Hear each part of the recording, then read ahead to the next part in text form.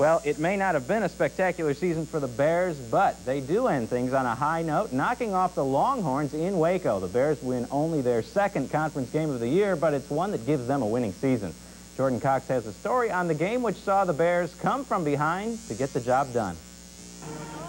Although there were no postseason implications of any kind in today's Baylor-Texas game in Waco, the Bears and Longhorns played as if there were, providing an exciting thriller for the 30,142 fans who braved the rainy condition and winds of 43 miles per hour.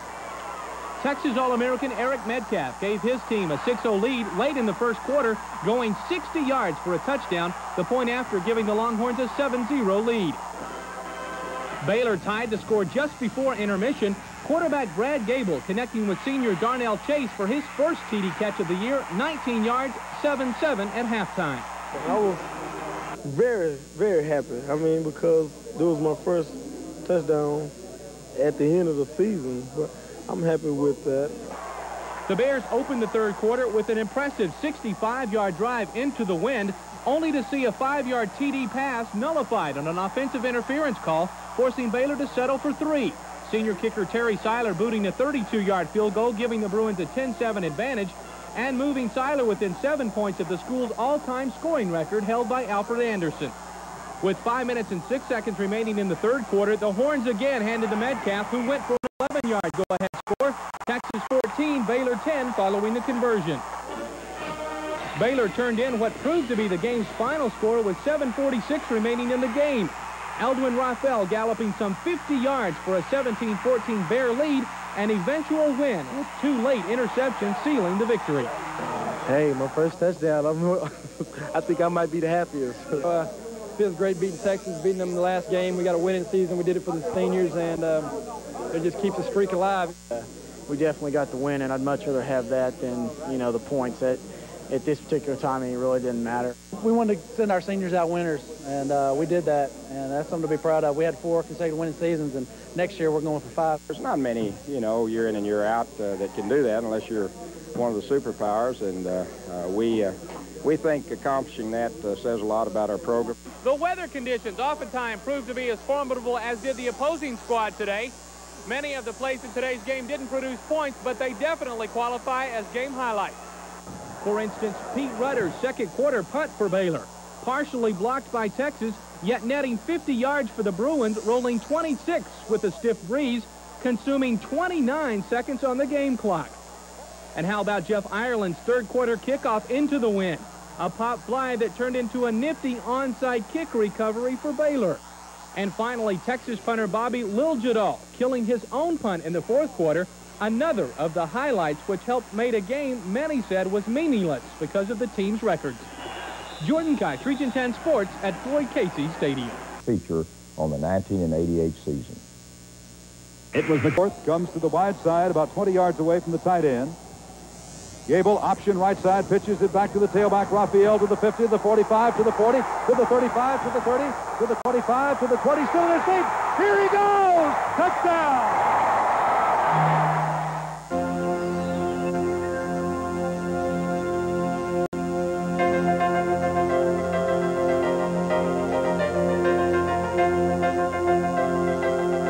1899, Baylor University has played college football. An original member of the Southwest Conference, Baylor has earned a national reputation during the leadership of head football coach Grant Teaff, now in his 17th season, and ranked in the top 10 nationally in career wins. Now, Coach Teaff. Saturday's victory over the University of Texas was a very important one for many reasons. One of the most important reasons was that uh, our football team bounced back uh, from a time when uh, they were really going in a downward spiral. Uh, their uh, confidence level had begun to drop. Uh, we had all kinds of injuries. We were playing with people in different positions. that hasn't changed, but what has changed is that we've won our last two games, gone 2-0 in conference play since the Arkansas game, and really turned things around. this football team is to be credited with an awful lot. Uh, they've made a big turn and uh, they've worked hard. They've done the things that it takes to end on a winning note and put together their fourth consecutive winning season. Though we didn't uh, gain a bowl berth and though we didn't win the championship, I feel very good about this football team. I said at the beginning of the year that this football team could win eight games. And I'll tell you one thing, we were very close to doing that. Uh, I think uh, that uh, my estimations of this team were not wrong at all. Had we not had the injuries that we had, I don't think there's any question of what we would have won at least eight and maybe nine football games. Well, we didn't. Uh, we didn't uh, moan or cry about it. We just did what we had to do to come back and finish strong. That's going to help us in a lot of ways. It's going to help us in recruiting. It's going to help us throughout the winter. And it's going to help us next fall when we move into a very important season. In fact, this year is very much like the 84 season that set up two great years, uh, 85 and 86. We'll be back and look at the highlights of the Texas game in just a moment. The afternoon uh, was an interesting one in the sense that uh, there had been heavy rain showers in the morning and a 43 mile an hour wind was blowing out of the uh, north. Uh, Texas won the toss and chose to defend the north goal, and I would have done exactly the same thing had we won the toss. I thought it was critical. However, that put us in a position of having to play really tough defense uh, with uh, Texas, uh, the wind to their back. And we were able to do that throughout uh, the first uh, quarter, and we had one situation where they scored, but other than that, our defense played well. As you can see, Robert Blackman intercepting a pass going into the wind, and this gives us an excellent field position. Uh, we uh, line up uh, inside the 30-yard uh, line on about the 25 with a first uh, and 10, and that uh, was an important interception by Robert Blackman.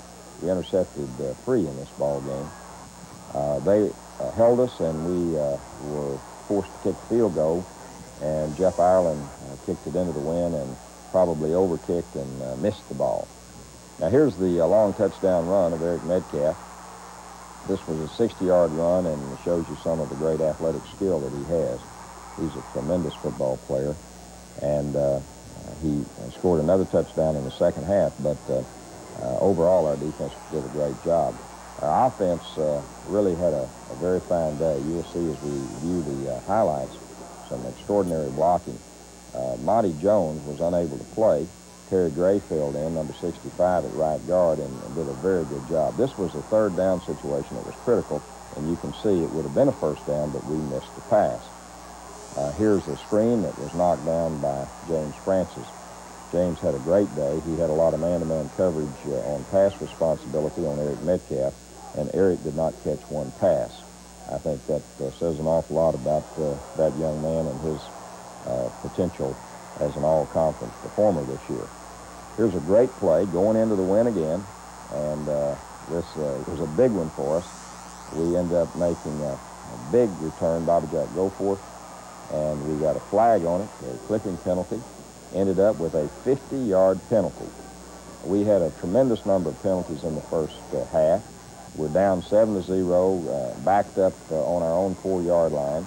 Ball pops out. Raphael there uh, knocked, uh, was knocked loose from the football, and we were very fortunate that Jeff Murray fought for the ball and we got it back.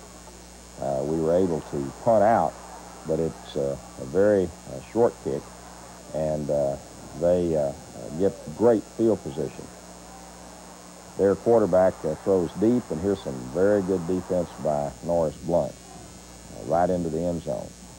Draw play, and uh, this young man is uh, held at the line of scrimmage by a big freshman, Marcus Moore. We ended the season with only two guards that were healthy, offensive guards, uh, two uh, tight ends and two defensive ends. Big play uh, by this young man, Eldwin Raphael. He uh, had 147 yards rushing for the day. another very, very fine day for him. We're, we're happy to have him back healthy. He missed four football games. Jeff Murray is another youngster that had a great day. You see we come up just short of the uh, first down there. Brad Goebel throwing complete uh, out in the flat to Raphael, and that young man, number 60 there, you can tell what kind of football player he is. Britt Hager uh, is a great football player and had a great game against us. Ball was kicked by Pete Rudder. Pete had a very good day uh, in the second uh, half. Uh, uh, he kicked one that was a great contrib contributor to our victory. We faked out the cameraman, but not the defense, thank goodness. The defense took care of uh, Mr. Metcalf, as they do on this particular play. Daniel Morgan coming up from his uh, weak side linebacker spot. and uh, also Sam Collins. Punted, and uh, they kicked this one into the end zone. They had another one uh, in the first quarter that went out on about the one-yard line. Now, you can see a roughing penalty coming up here. We show you this. He was hit well after the ball was thrown, and the, quarter, and the officials were right on top of it, and uh, that gave us a first down uh, going into the win in the second quarter. Brad Goebel, the quarterback, uh, Charles Perry, the fullback, Eldwin Raphael, the tailback, and you can see how close we were uh, in that uh, second quarter on completing some passes. We were not having great statistics passing during this period of time. Now I want you to take a look at this punt. This is uh, an interesting kick. Watch the ball. The ball continued to roll. The wind blows it. Now look at this. This is amazing. That wind is blowing the ball. Someone told me after the game, said, get those guys away from the ball and uh, the, the wind will blow it further. Well, if you get away from the ball, Mr. Metcalf or somebody will pick it up and run with it. But uh, we picked up uh, about 29 seconds on the clock and uh, also about 29 extra yards. Murdoch making the handoff, and uh, watch this. This is a great defensive effort. Watch him hit here, hit here. The ball is gone. It was knocked out of his arms. Uh, you see the ball on the ground, and he's still up in the air, and now he's down. We fall on the ball, and uh, it was ruled a non-fumble. And uh, we did not get possession, which was a real uh, critical uh, situation for us because uh, you'll remember we're down 7 to 0. We uh, thought we were going to get a break here. We held them good defensively, and we get another penalty. We also had a 15-yard penalty uh, on the sideline on a roughing call that gave them a big first down when we had held them. But finally, we uh, get that break. They fumble the football, and uh, Gary Joe Kinne, who had another great game, he had 15 tackles, recovers, and gives us some field position with the wind to our back. This is a fourth and two. Real important. Short yardage offense uh, made one of the biggest plays of the year by driving in for that first down to give us four more downs inside the 20-yard line. Now watch this block by Bobby Sign. It happened so fast that you don't get to see the actual block, but uh, he's the one that allowed us to throw the ball and allowed Chase to catch the ball. And uh, that uh, score, and it was a great catch, that score uh, with the extra point by Terry Syler uh, put us at 7 to 7. And that was real important in this game. It was 54 seconds before halftime, and uh, we go in with a tied-up score, and we're feeling good about our chances of winning in the second half. Speaking of that second half, I'll be back in just a moment with the highlights.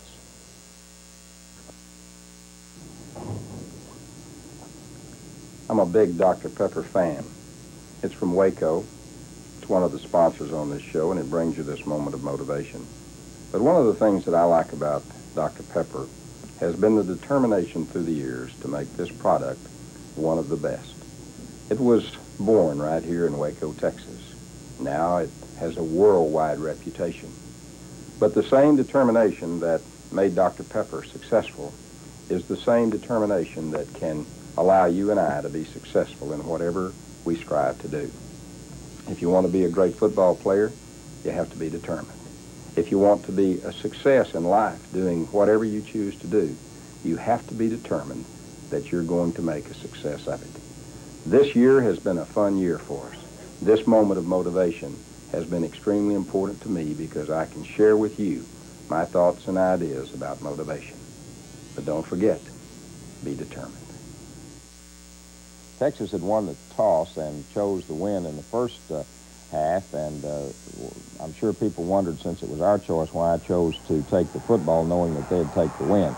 The reason was I wanted to win in the fourth quarter. It was a close ball game, and a field goal might win it, and uh, this big pass up the middle to Jeff Murray, 37 yards, uh, was a key. We're going into the win. This is the first drive. We receive the opening kickoff, and we take the football down. Another great run by Jeff Murray. Boy, is he uh, coming along. 15 yards, uh, dragging half the Texas defense. Well, great job, Jeff Murray.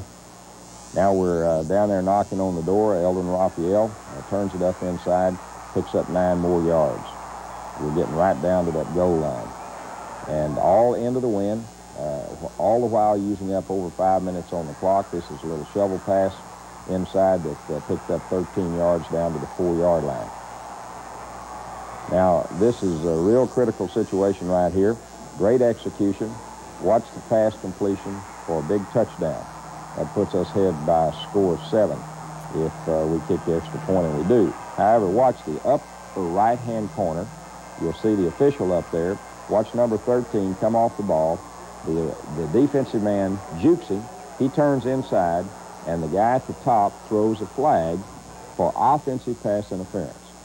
Now, I've been doing this for about 30 years, and that was the strangest, and I'll use that term, strangest call that I have ever seen. I can assure you that we'll be visiting with the head of the officials about that dude real early Monday morning. Now, here's a, a kick that uh, some people said, my goodness, uh, what a strange-looking kick. Well, actually, the truth of the matter is we expected to get the football. We had uh, uh two things that we were going to do. Uh, one, if they were gathered up at, uh, close to the line of scrimmage, we were going to kick it deep, and if they were in a regular formation, we kick it high let the wind blow it, and you got a good chance to get it back. Now, a lot has taken place here in this uh, quarter. Have been several exchanges, and we didn't take advantage of that uh, recovered onside kick, and they end up with great field position. And they hand off to Metcalf again. Now, this is uh, uh, still in the uh, third quarter. With 5.06 left in the third quarter, and they take a 14 to 0 or to 10 lead. Now, here again, you can see some very, very fine defense as they have some good field position. Sam Collins, who played his best game, uh, he'd been injured a lot and had some problems uh, uh, with uh, those types of injuries that would keep him from playing. He got a knee hurt and so forth. He finally had a, a great game, and I'm real happy for him. Our defense has played uh, magnificent, and we finally get the football here with a little field position. Eldwin Raphael on the option play. What's this blocking downfield? Uh, and his 360-degree turn and takes it right into the end zone uh, for the go-ahead touchdown. Now, just prior to this, on the, the drive, uh, right before, we drove down like fourth and two to kick the field goal, a short chip shot, and missed it. So uh, we uh, had to score, and that's exactly what we did. Now, I want you to watch. They get four more possessions after we went ahead, and uh, we just shut them down. That was a big play by Darren Franklin. This is a third down and eight right here. Real, real important. Good pressure, force him out, and we drop him with Gary Joe Kinne and also with big Marcus Moore. Marcus weighs 300 pounds and he bounces around pretty good, and he's a freshman, as is uh, about the third of that defensive unit out there. Here's an interception, this one by Ray Crockett, and uh, Ray has had a great year for us. Ray will be uh, playing in the uh, blue-gray game, and I'm real happy for him. Also, Charles Perry will be playing in the Hula Bowl along with Bobby Sines. And Bobby Sines playing in the East-West. Garrett Long, uh, who is a transfer student from Cisco Junior College, makes another big interception. Their fourth quarter, uh, they had uh, very few possessions and even fewer yards. The final score, Baylor 17, Texas 14. Well, I tell you, that was a, a good football game. Uh, the fans enjoyed it. Uh, it was hard fought on both sides. Uh, the wind obviously was a factor, but it blew into the face of both teams for at least two quarters. I'm very proud of our football team for this accomplishment, beating the University of Texas and having a winning season. Texas has a lot of talented people, and we do too. And it was two pretty well evenly matched football teams. Uh, breaks uh, were a part of it. Uh, injuries had very little to do with this ball game. But uh, the factor was that uh, we won the football game. Uh, I think we did it in the way you should win one, with great effort and playing as hard as you can play, and with a real deep confidence that we were going to win the football game. Well, right now we have something special for you.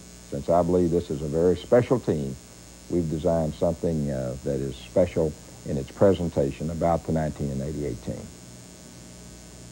If I knew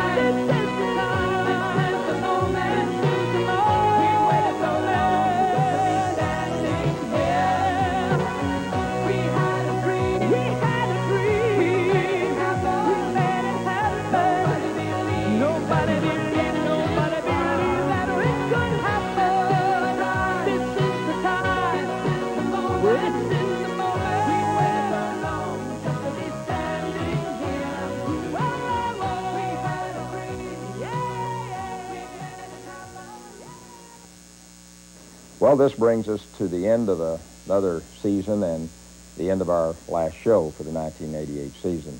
There are a lot of people that we'll want to thank, and we'll do that in a moment uh, in a more appropriate way. But to take care of a little unfinished business, I mentioned last week that uh, we've had a lot of calls, people asking about the trip that Donnell and I are going to take to the Soviet Union this summer. It is in conjunction with the uh, end zone facility and the uh, stadium renovation project. And if you'd like to go or would be interested, drop me a line at Baylor Stadium and I'll get you the information. Also, we've had a lot of requests about books and tapes and particularly the David Principles. And if you would like to have those, drop me a note and we'll send you some information on that as well. Now, to wind up a, a year like this, uh, you have to thank a lot of people, and I'd like to thank our coaching staff and our support staff at Baylor University, our football team, and uh, those folks that uh, are in the areas that you don't see. Uh, Marie Abel and the people in the ticket office, and of course, uh, our folks uh, in the spirit area, that Golden Wave band, the cheerleaders, the song girls that just do such a fantastic job. And then, of course, Roger Lindstrom, who is our producer, and all of the people that work directly with him. Just watch these credits, and you'll see the folks that's made it all possible.